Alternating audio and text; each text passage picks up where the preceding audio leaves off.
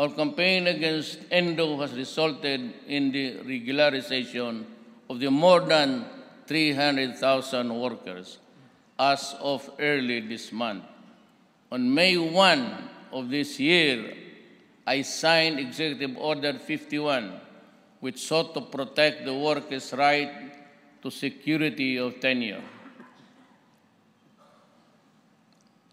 Read my lips. I understand that this does not satisfy all sectors. I share their sentiment. I truly do.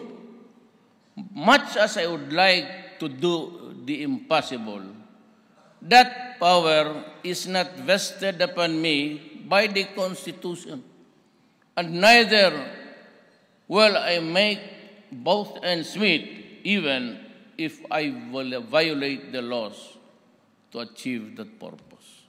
Simply, it is not part of my territory.